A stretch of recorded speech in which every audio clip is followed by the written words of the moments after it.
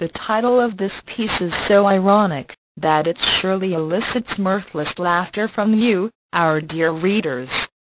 Unlike what the Yorubas will readily tell you that the whip used for the older wife is hanging on the doorpost, to be used on the new wife, a lot of our career Nollywood home breakers have gone on to find love with the men they succeeded in snatching from their rightful owners in this piece. TOFARATI follows the marriages of top Nollywood actresses, who took over other women's men, and are enjoying the fruits of matrimony.